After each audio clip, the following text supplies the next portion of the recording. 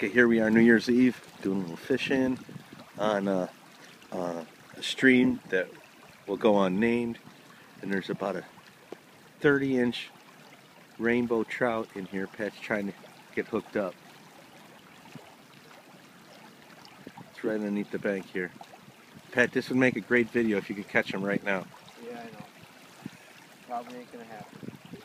Very spook. Yeah, this fish knows we're here, so